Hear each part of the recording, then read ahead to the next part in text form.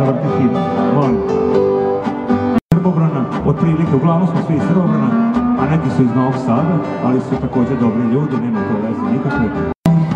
godina Za poneki su kaki kažu da su pravi mali Hollywood I ne pitamo se nigde nikud Jer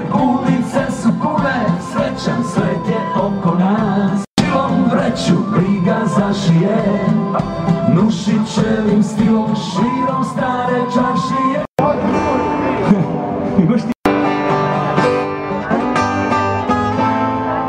Prva je ljubav, došlo tiho nezvana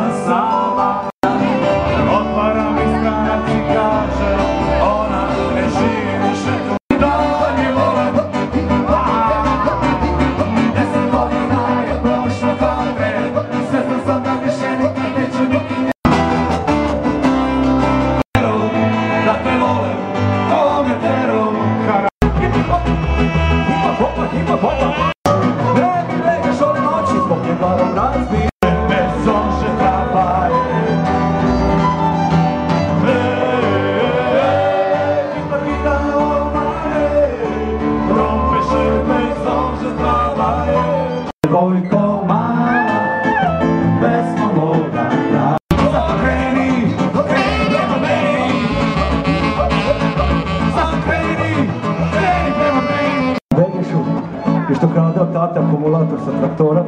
To je Đorđe, molim jedan aplauz za njega.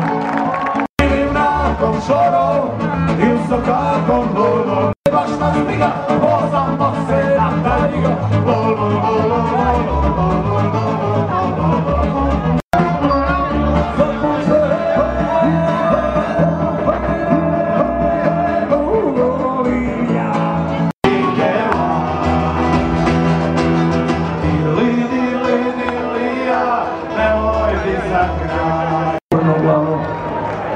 Ima u našem bendu ljudi iz Novog Sada.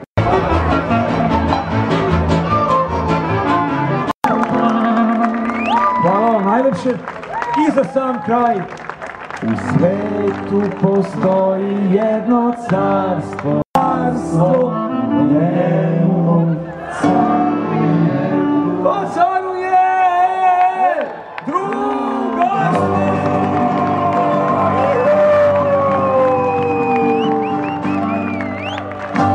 vas sad pustim u pesmicu, može vas?